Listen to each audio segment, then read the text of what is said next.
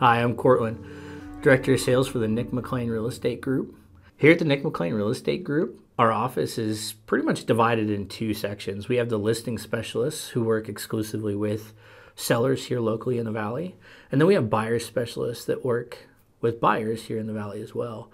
The purpose of this video is to give you some insight as to some questions to ask anyone that you're considering uh, helping you sell your, your house. So, the first question that we get the most is what do you charge? What's your commission, right?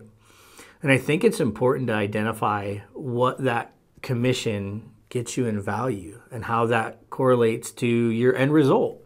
Not all listing packages are the same across the industry. They can differ from listing agent to listing agent to company to company. Make sure that your listing agent is articulating their value as it applies to your commission. Another important question would be what is your marketing strategy and what is that going to do for me as a seller? Another great question that applies to their marketing strategy is going to be what is your monthly marketing budget? Also, do they use places like Zillow, Trulia, Redfin, and other great places to list your house for sale? Finally, another great question to ask is how many homes did they sell, right? Whether that's this month or, or last year.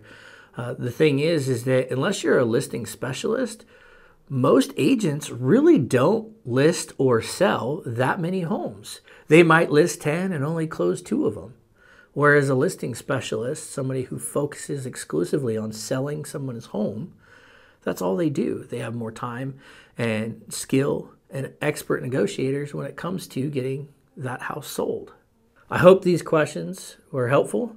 Please feel free to reach out to myself or anyone here at the Nick McLean Real Estate Group if you have any questions about purchasing a home or even selling your home. Have a wonderful rest of your day.